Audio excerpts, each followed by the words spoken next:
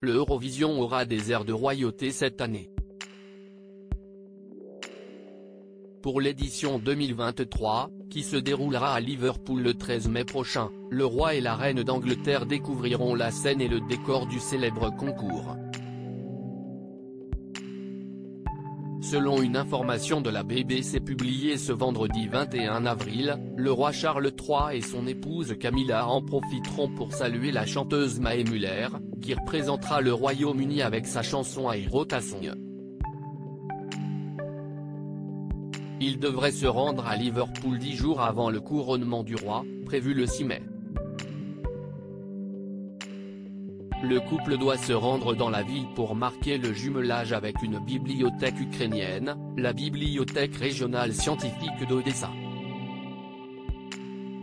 Cette année, le Eurovision sera aux couleurs de l'Ukraine.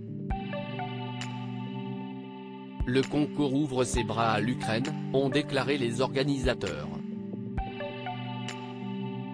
Le couple royal rencontrera également les producteurs de ce télécrochet international ainsi que Julia Sanina, présentatrice ukrainienne qui animera l'émission, et l'actrice Anna Wadignam.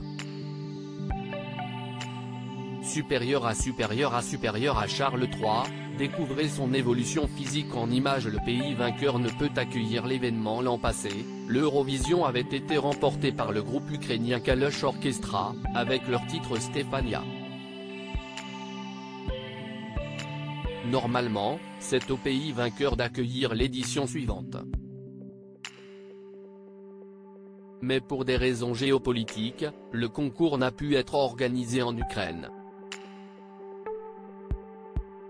Les organisateurs ont donc désigné le Royaume-Uni pour présenter cette 67e édition.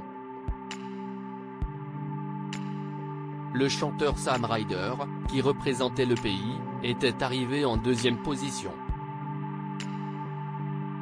Du côté français, le concours de l'Eurovision sera représenté par la chanteuse Lazara.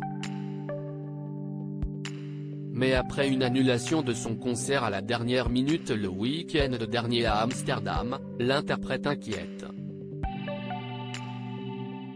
J'aurais tellement aimé être avec vous tous, mais parfois la vie en décide autrement. Je vais donc avoir besoin de quelques jours pour gérer ces moments difficiles, avait écrit la chanteuse sur les réseaux sociaux. Article écrit en collaboration avec 6 Média Crédit Photo, agence.